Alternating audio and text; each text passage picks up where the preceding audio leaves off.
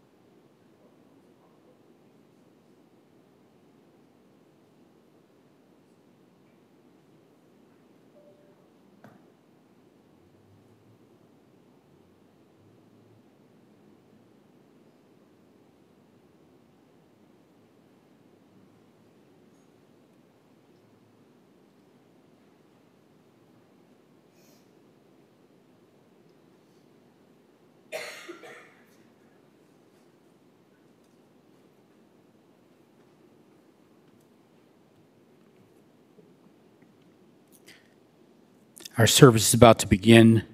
Officiating our service today will be Rabbi Michael Davis.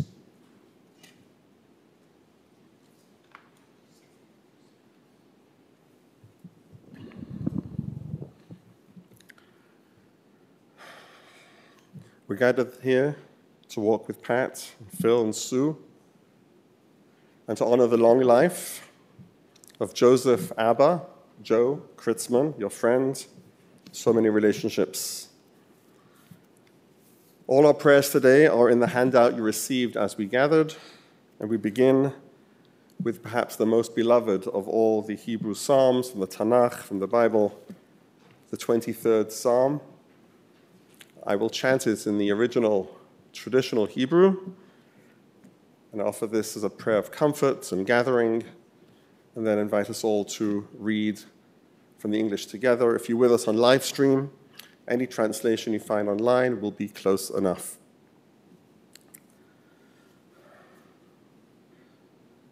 Mizmor leDavid Adonai Roi Lo Echsar בינות דשא ירביצני, על מי מנוחות ינחלני. נפשי ישובב, נפשי ישובב, ינחני ומגלי צדק, אוי למען שמו. גם כי ילך בגיא צל מוות, לא יירא רע, אתה עמדי, שבטך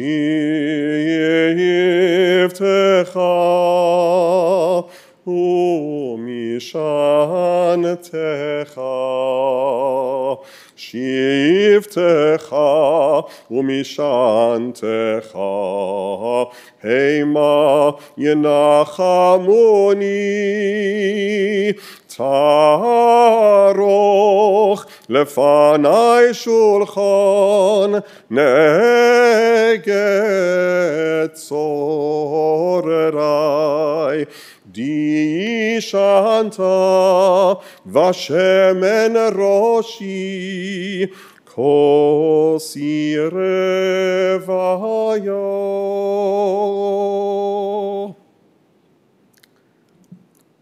Let us read together the 23rd Psalm.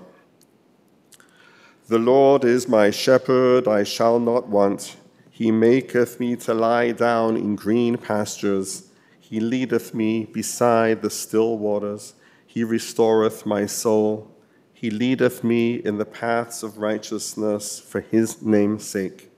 Yea, though I walk through the valley of the shadow of death, I will fear no evil, for thou art with me. Thy rod and thy staff, they comfort me. Thou preparest the table before me in the presence of mine enemies. Thou anointest my head with oil my cup runneth over. Surely goodness and mercy shall follow me all the days of my life, and I will dwell in the house of the Lord forever. I just want to reflect for a moment on these familiar words in our ear and our mouths, and uh, one word in the final verse I will dwell in the house of the Lord forever. Something a little curious about the translation here, which I'd like to pause for a moment on. The Hebrew that I chanted for this word, I will dwell, was v'shavti. It's a bit of a mismatch there. The word v'shavti doesn't mean I will dwell. Those of you who know Hebrew will know that this close, but a little different. See if you can hear the difference. Not v'shavti, but v'yashavti. Hear the extra ya? That means I will dwell, I will sit. V'shavti has meaning. It means I will return. So taken as the Hebrew is written in the Tanakh, in the Bible, this would be translated I will return in the house of the Lord. So you can see what the problem is here, why we needed to change that, right? You return to, once you're there, you dwell in. It doesn't really make sense to say to return in. I'd like to offer perhaps there is some meaning here that the language itself doesn't quite hold, but can give us an insight deeper below the surface. I will return in the house of the Lord forever. Because as we make our way through our mortal journey, we chart a path of wholeness. We strive for physical well being, emotional health, relationships, family, integrity, everything that we chart a path in where we strive for wholeness. But as we move through the messiness of life, inevitably in all those fields, at some point or other, we'll fall off the path. Perhaps as we get a little older, we learn to spend less time off the path and to bounce back quicker. We have a little less time to stray. But what can we do to make sure that happens, to help that along when those moments happen? So we can lay in store for ourselves these houses of the Lord. Traditionally, that might be a house of worship, and it still is, but perhaps more expansively, that can be family, friends, nature, our pets, music, whatever it is, those places where we restore our spirit and they're there for us when we need them, and we set those in store for us so they are there for us when we and when others need them. So, my hope and prayer is that this gathering right now, this service, is one such house of the Lord for you to begin to return to wholeness and to draw in all that, uh, the wishes and the prayers and the strength that surround you.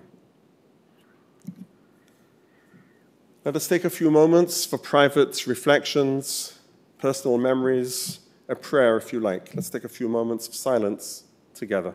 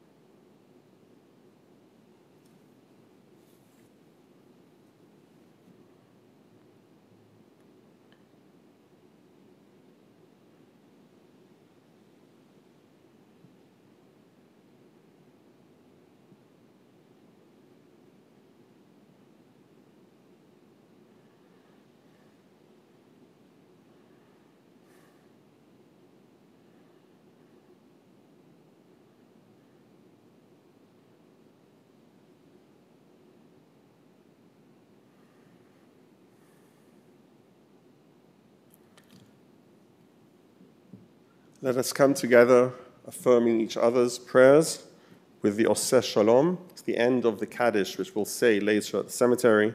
It's on the back panel. In the Hebrew, it's the last two lines. In the English, the last two and a half lines, beginning with a capital O. I will lead you in song, as I like to say, if you know it. Please sing out loud. And if you don't, just fake it along with everybody else. עושה שלום במרומיו, הוא יעשה שלום עלינו, ועל כל ישראל, ואמרו, אמרו, אמן. יעשה שלום, יעשה שלום, שלום. ועל כל ישראל יעשה שלום, יעשה שלום, שלום עלינו ועל כל ישראל. יעשה שלום, יעשה שלום, שלום עלינו ועל כל ישראל. יעשה שלום, יעשה שלום, שלום עלינו ועל כל ישראל יעשה שלום, יעשה שלום, שלום עלינו ועל כל ישראל.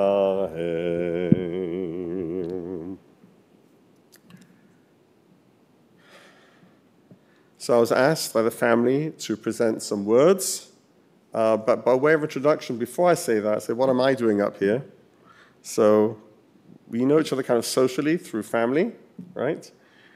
And also, as I began to hear the stories, just share personally, this is what I do. I'm a rabbi, I'm a cantor, but I've also walked this path personally this past year just by way of connection. My own mother passed away, and I was struck by the fact that um, my mom and your dad were, were less than a month apart in age. So this, this saying goodbye at this advanced age and this journey, it touches all of us, right, in all sorts of ways. So these are the words that uh, I'm honored to present on your behalf. Joe Kritzman was born and raised on the West Side in a different age, as we just said, 1931. Big Jewish community there, as you know perhaps better than I, the old West Side, and three to four times the general population it has today. And he grew up in the Depression. And perhaps that explains, perhaps that explains how frugal he was. He told me how he would save every little thing. Although Phil and Sue say that perhaps they are a little similar in that way too, and they don't have the same excuse. Despite all this, he and Pat traveled the globe from east to west and north to south. He did grow up in a tougher world, and as you told me, he preferred action movies to rom coms and wrestling and football to, say, figure skating and Olympic curling. Joe's dad was a pharmacist, and Joe went on to study pharmacy at the U of I, and he became a pharmacist too in a hospital. Although he said his dad never pushed him to it, it was his career choice. As we just witnessed, he received military honors, and that was for having served during the Korean War. He was stationed in one of the major American military centers overseas in Germany in a, in a medical capacity. And this was something he was proud of. On occasion, he would wear his vet's cap. He told me how once he was getting a haircut, and it was Veterans Day, and he came into the barber shop wearing the vet's cap. When it came time to pay, the barber said, Don't worry about it. Somebody, a stranger, who had seen him coming in wearing the cap, had already taken care of his bill. Story of Pat and Joe he told me how another girl he had been dating briefly stood him up once, which gave Joe the opening to ask her roommate, Pat, out. And that is how they met and got married. He told me how he enjoyed eating the sweet stuff, even when it wasn't dessert. Pad thai, not spicy, barbecue sauce, and of course, definitely ice cream, especially if it had extra stuff and chunks inside it.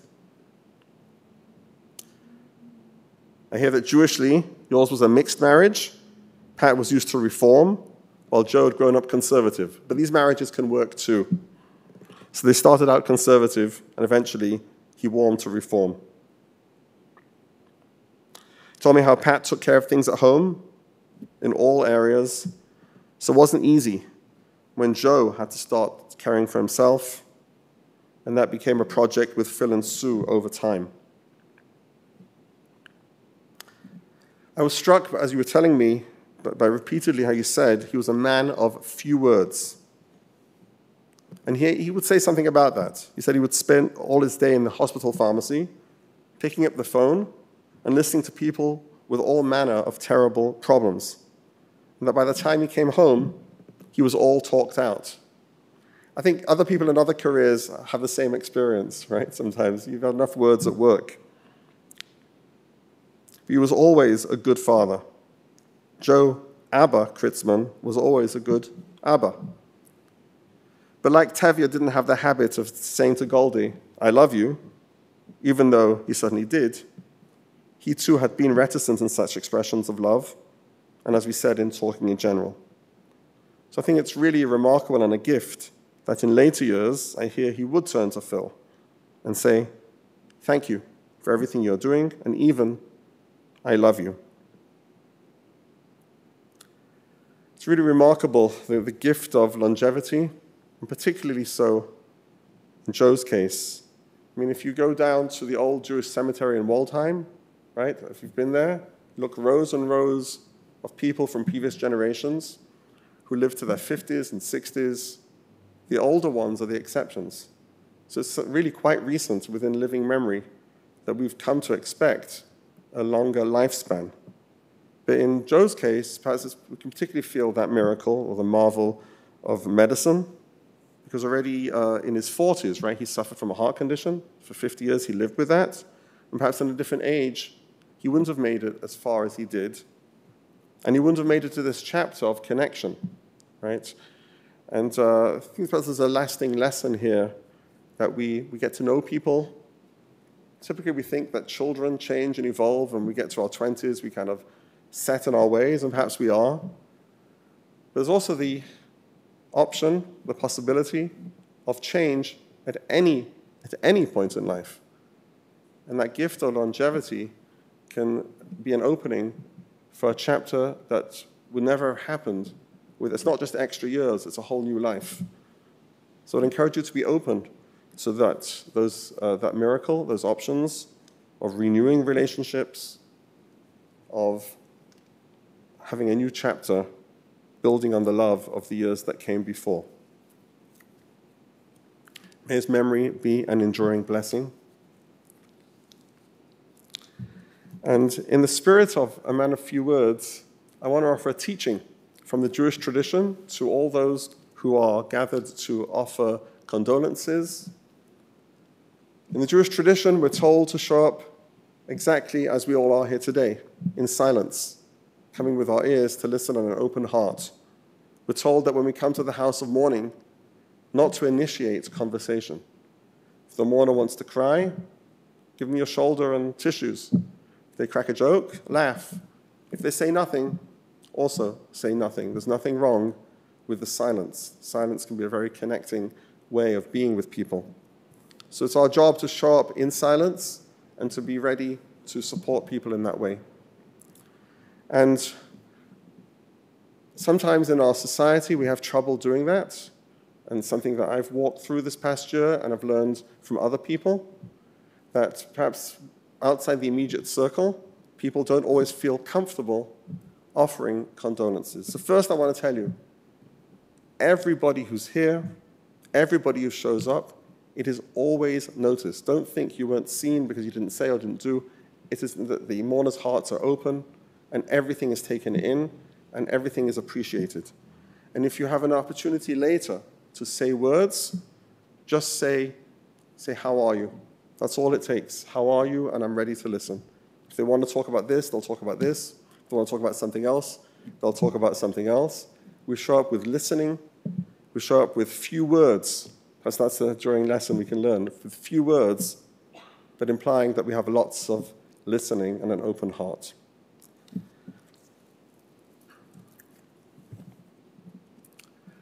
A modern poet wrote, You can shed tears that he is gone, or you can smile because he has lived. You can close your eyes and pray that he will come back, or you can open your eyes and see all that he has left. Your heart can be empty because you cannot see him, or you can be full of the love that you shared. You can turn your back on tomorrow and live yesterday, or you can be happy for tomorrow because of yesterday.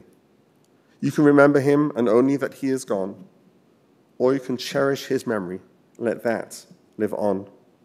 You can cry and close your mind, be empty and turn your back, or you can do what he would want smile open your eyes, love, and go on. You asked to hear a favorite Jewish hymn or song.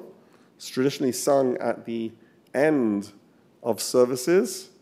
I'll, I'll, I'll do the reveal. It's Adon Olam.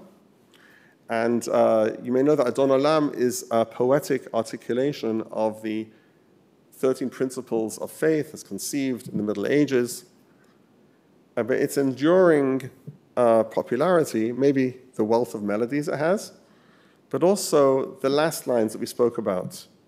בידו afkid ruchi be'et ishan ve'a ira ve'im ruchi gavi ati adonai li ve'lo ira. In his hands I I give my soul, my spirit. And if I should die, if my spirit becomes my body, God is for me and I shall not fear. Quoting at the end the lines from Psalm 23 that we opened with. And some traditions have to do that before going to sleep. And perhaps its enjoying popularity is not because it's a statement of theology and philosophy, but because of the comfort it can offer uh, as a prayer of confidence and perhaps at the end of a life well lived and of trust and of faith. So I'll sing the first and, and last uh, uh, closing lines. From the way you sang of Shalom, you might know it too, so feel free to join in.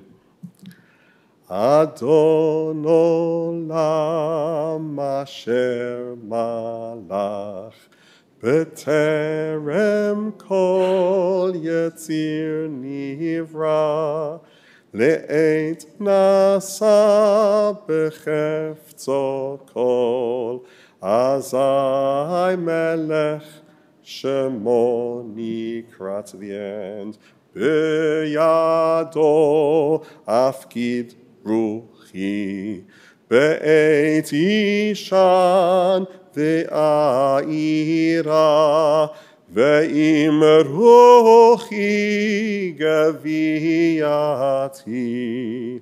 אדוני לי ולא יירא.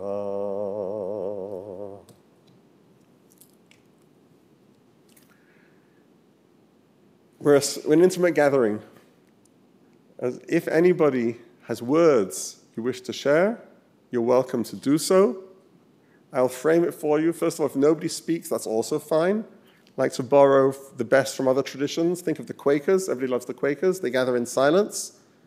If people have words that need to come out and be heard, it's a welcoming space. If not, the silence, as we just said, silence is golden too. If you are moved to speak, you should know that it's not expected to be um, a polished eulogy and there's no minimum length. It's not a term paper. It can be a little anecdote or vignette or anything that you would like to say, or you can save it for later and do it in a more informal setting. But if you're bursting to say something in honor of Joe, of comfort, then um, we'll leave a few moments of silence now, and that can, you can come forward and do that. I'm only going to ask that you do come up here, not to put you on the spot, but because we are on live stream and your voice won't be picked up unless you're here uh, at the microphone, so you know that.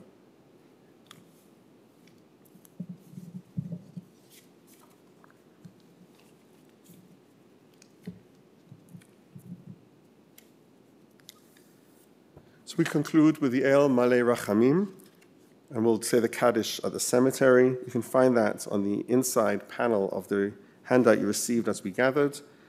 Um, I invite you to please rise if you're able. If you're seated next to somebody who can't stand, then stay with them seated so they're not on their own. But if you can stand and you're there, then please do.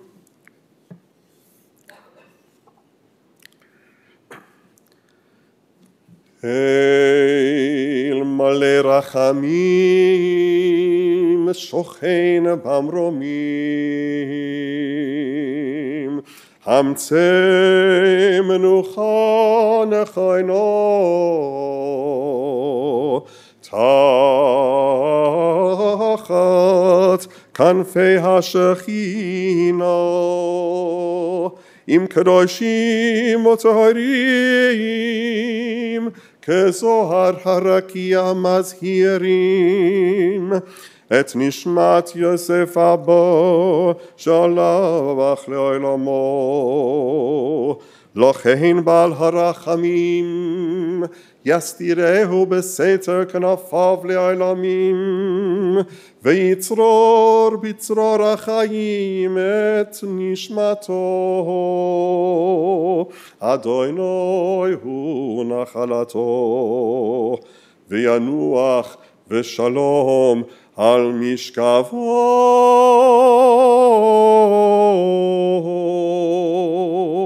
venomar. Amen. O God, full of compassion, thou who dwellest on high, grant perfect rest beneath the sheltering wings of thy presence, among the holy and pure who shine as the brightness of the firmament, to the soul of Joseph Abba Kritzman, who has gone unto eternity. Lord of mercy, bring him under the cover of thy wings, and let his soul be bound up in the bond of eternal life.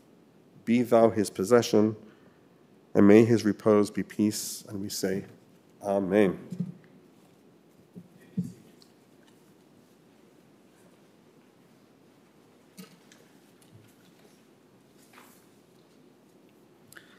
This concludes our service here in the chapel. The interment will take place immediately at the family plots at Shalom Memorial Park in Arlington Heights. Following the interment, the family will be gathering at Hackney's on Lake. That address is located on your service folder, and for those of you online, that address is available on our website. Please note that the family has asked that memorial contributions be made to the Cure Alzheimer's Fund, and that information is located both on the website and in the service folder as well. The gathering will take place from 3:30 PM until 6:30 PM today. For those of you who are going in procession with the family to the cemetery, please make sure you obtain an orange funeral safety sticker. The sticker should be placed in the front passenger side of your windshield. We would also ask that you have your bright headlights and hazard lights on at all times. For an additional measure of safety, our staff will be placing magnetic flags throughout the procession. As we drive in procession, please drive as close as safety permits to the vehicle in front of you at all times. We want to avoid any large gaps or spaces in the procession, particularly as we go through intersections. I'm going to ask everyone to please rise as Mr. Kritzman and Rabbi and the family are escorted from the chapel.